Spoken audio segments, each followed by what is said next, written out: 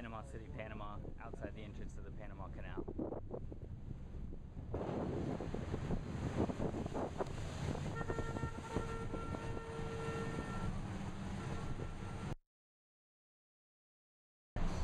Um, and then the locomotives that you'll see, those are going to hook up to us, and they hook up to all the vessels that go through, and they kind of help vessels along. Okay, is the mule gonna actually pull us, or we'll be using the engine? They'll hold us in the middle, and we'll use our engines. We'll just be bumping ahead with our engines, and then on either side, at either quarter, there's there's you know two on the bow, two on the stern, and they'll kind of steady us with these cables that they attach to the ship. What's happening is we are about to go through another lock in the canal, The Panama Canal. Panama Canal. And I, I think it's like some, I forget the name of the lock. Why don't they make the procedure go faster? Faster than when we have it right now? Okay, the question, the answer would be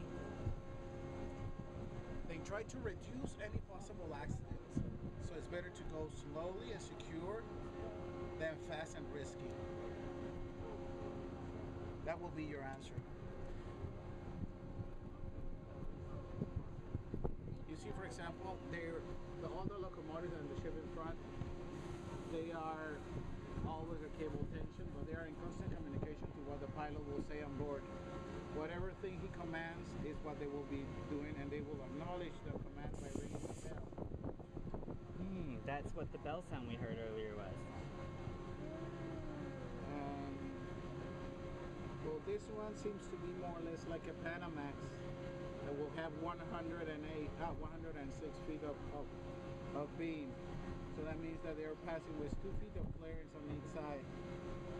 So for a ship that is that big, if you move it fast, the wave that you create might probably th- throw you to the side of the wall and you might scratch the hull or the ship uh, with the wall.